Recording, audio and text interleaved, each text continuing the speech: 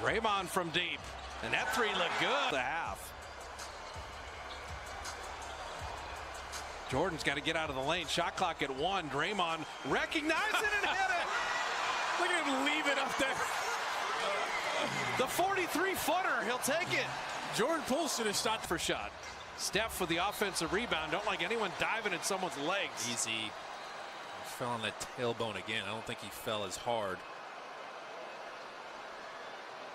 But here's Draymond just bailing him out. He got his legs into it. And that was more of a set shot. Well, he normally shoots a set shot, but the bench, look at the coaches even. The coaches are going.